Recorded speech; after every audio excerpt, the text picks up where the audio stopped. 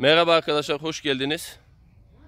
Ee, aracın yükseltmesi hakkında sorular gelmişti. Onun için bu kaydı yapıyorum. Aynı zamanda yan tentem geldi. Zümrüt Çadır'dan. Buradan da Zümrüt Çadır'a selamlarımı iletiyorum. Onun da kısmen tanıtımını yapacağım. Düşünen arkadaşlar için. Şimdi arka kameraya geçeceğim. Dediğim gibi aracım 98 model 2.5 V6 kupa yükseltme var. Onunla ilgili e, bilgiler paylaşacağım arkadaşlar. Burada arka kameraya geçiyorum. Şimdi aracımız ön tamponu sökük. Daha net bilgi vereyim diye şurada metre var ufak bir tane. Evet arkadaşlar buradaki açıklığı görüyorsunuz. Önde bir burada takoz var. Bir burada var. Bu takozların aynısından sol ön kapı, sağ arka kapı, bir de en arka çamurlukta var. Şimdi ölçeceğim arkadaşlar. Şimdi şöyle yaptığım zaman şu anda alt şase kulağına geliyor metre. Ortalama 8 santim. Takoz. 7,5-8 santimetre kabul ediyor. Üstündeki contalarla birlikte şöyle yaparsak 10 santim kupa yükseltme var bu araçta. Bu takozlardan 8 tane var arkadaşlar. Zaten bu takozlar söküldüğü zaman da orijinal hali kupayla şasenin bağlantı yerleri burası. Şimdi yan tarafa geçince de detaylı bir şekilde göstereceğim. Şurayı da şöyle çaprazdan göstereyim. Gördüğünüz gibi şase, kupa, bağlantı yerleri burası arkadaşlar. Şu kadar bir yükseltme var. 10 santim. Şimdi burada belirtmek istediğim bir nokta daha var. Şuradaki amortisör kafasını görüyorsunuz. Buradan desteklemesi için takozları Şurayı görüyorsunuz değil mi arkadaşlar?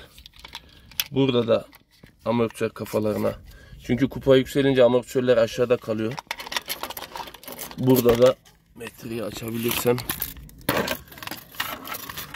tam kaç santimetre kabul ediyor. Burada da hemen hemen e, takoz dalla aynı orantıda 10 santim e, amortisör yükseltmesi var. Fakat bu sadece kupa yükseltmeyi desteklemesi için arkadaşlar. Yani araba orijinal e, amortisörleri binen yükü desteklemesi için yapılmış.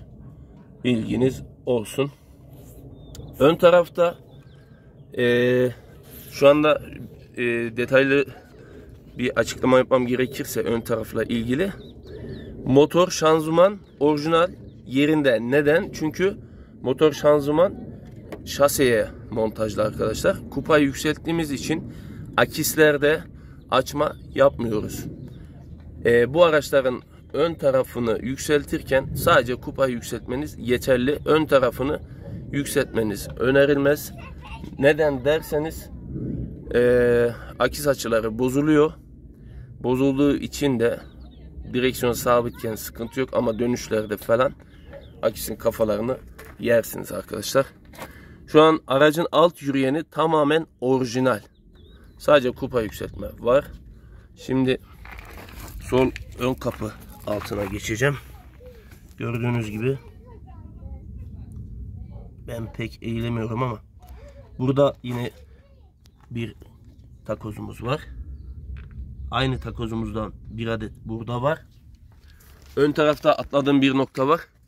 Bu işlemi yaparken Fren hortumları bunu kurtarmıyor arkadaşlar. Kısa geliyor. Ee, değiştirebilirsiniz. Ya da ben ne yaptım mesela? Bu işte kepçe, kamyon, işte fren hortumu imalatı yapan yerler var sanayilerde. Ölçünüzü alıyorsunuz. Şu kafaları onlara veriyorsunuz.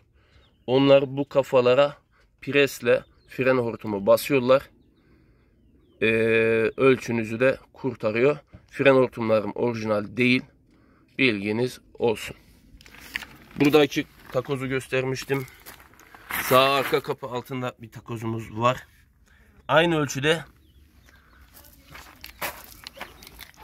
Şimdi dediğim gibi arkada da ee, bir takozumuz var.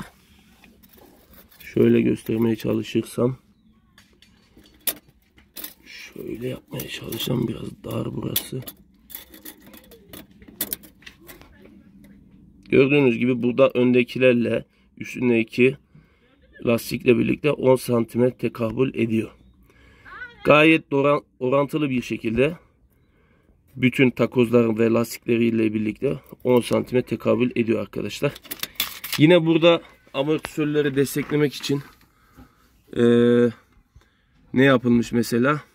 Arka helezyon helezyonun üzerine aynı ön tekerin amortisörün üzerinde olduğu gibi takoz konulmuş. Ben göremiyorum ama şu jantın altından göstermeye çalışacağım arkadaşlar. Gösterebilirsem. Amortisörümüz nerede?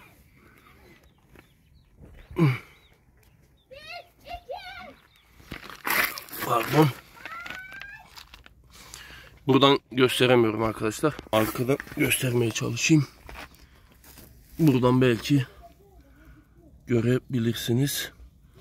Şu televizyonun üstünde beyaz e, amortisörlerin o boşluğunu alacak şekilde amortisörlerin yükünü destekleyecek bir şekilde bir takoz konulmuş. Sadece helezyonun arasına arkadaki fren hortumlarım orijinal. Bunlarla herhangi bir oynama yok. Kupadaki açıklığı görüyorsunuz. Elim rahatlıkla girip çıkabiliyor. Gayet sağlıklı bir işlem. Dediğim gibi arkalarda da 4 tane sol tarafta 4 tane de sağ tarafta olmak üzere toplam 8 adet takoz var. 2 önlerde amortisörü desteklemek için oralarda işlem var. Önlerdeki fren hortumlarının değişmesi gerekiyor. Arka amortisöre de yükseltmeyi kurtaracak şekilde helezyona yük binecek şekilde helezyonun kafasında kestamit takoz var arkadaşlar.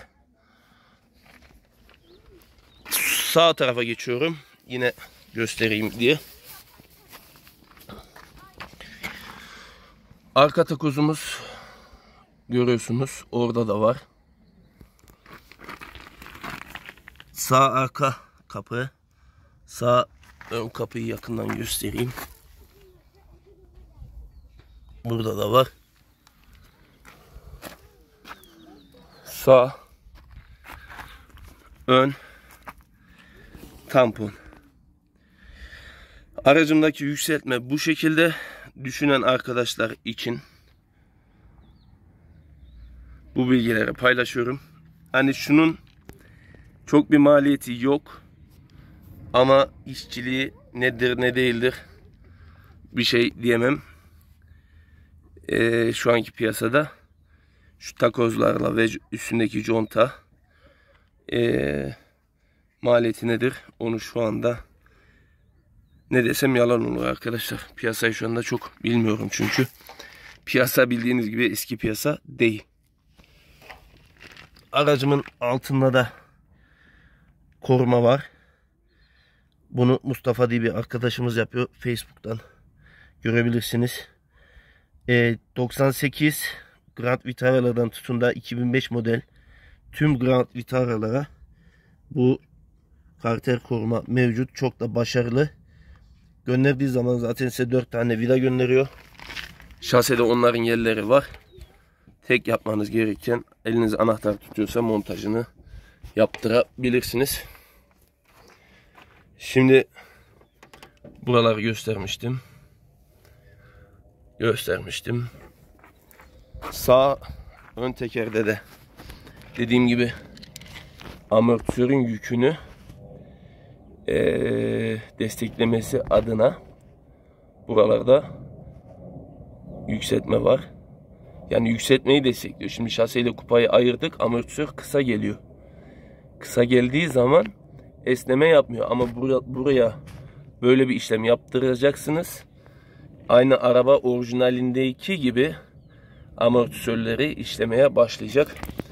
Fren hortumu burada da aynı.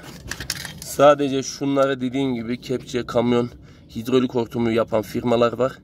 Bu başlıkları onlara götürüyorsunuz. Onlar sadece bu hortumları kendileri presle basıyorlar. Size veriyorlar. Bilginiz olsun. Şimdi kısa bir bu arada Zümrüt Çadır'ın çadırı geldi. Sipariş vermiştim. Biliyorsunuz aracımda Brothers Camp'in çadırı var. Kısa bir Zümrüt çadır, Zümrüt tentenin tanıtımını yapacağım. Görüşmek üzere. Saygılar.